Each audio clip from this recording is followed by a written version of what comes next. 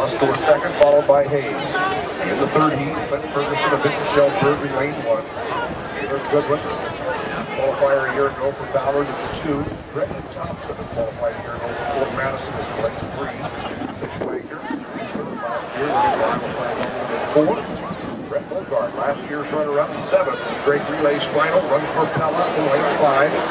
Trent Bueller, Preston in six.